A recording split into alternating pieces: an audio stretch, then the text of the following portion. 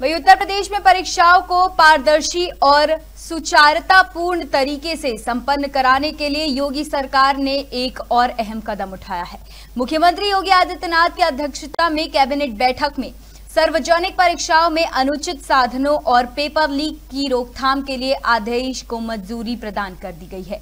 इस अध्यादेश के तहत उल्लंघन करने वालों के खिलाफ सजा के कड़े प्रावधान सम्मिलित किए गए हैं, जिनमें दो साल से लेकर आजीवन कारावास तक का दंड और एक करोड़ रुपए तक के जुर्माने को शामिल किया गया है। मंत्रिपरिषद के द्वारा जो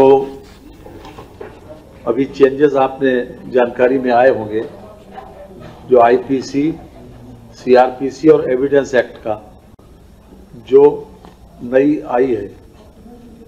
पहली जुलाई को वो लागू होना है उसको।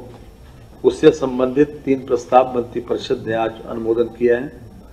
खास तौर से जो प्रोविज़न में बहुत ज़्यादा परिवर्तन नहीं है जो भी भारत सरकार के द्वारा भारतीय दंड संहिता जो 1860 की थी, दंड प्रक्रिया संहिता जो 1973 की थी, और भारतीय साक्ष्य अधिनियम जो अठारह सौ बहत्तर का था, उसके स्थान पर भारतीय न्याय संहिता 2023 सीआरपीसी के स्थान पर भारतीय नागरिक सुरक्षा संहिता 2023 और भारतीय साक्ष्य अधिनियम अठारह सौ बहत्तर के स्थान पर भारतीय साक्ष्य अधिनियम 2023 के जो नया एक्ट पास किया है, उसी से संबंधित जो उत्तर प्रदेश के कुछ एक्ट हैं, जिसमें सेक्शंस का परिवर्तन होना है।